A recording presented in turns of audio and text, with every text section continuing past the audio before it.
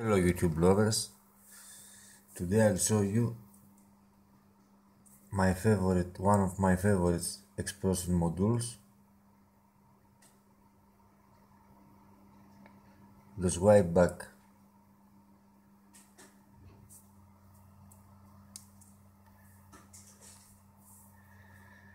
We can customize every app if we have enabled or disabled the swipe edge, the size and sensitivity.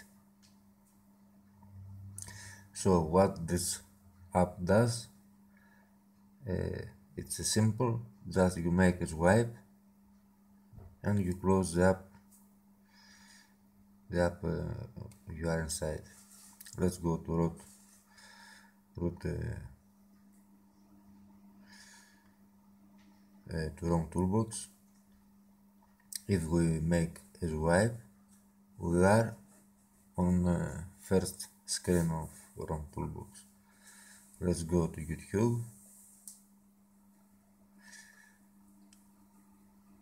If we make one swipe we are on home screen.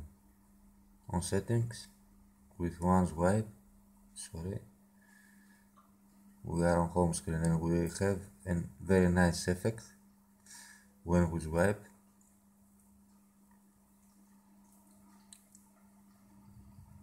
it's very easy just download it. Install it. Go to modules. Enable it make a reboot the phone and you are ready to go. Bye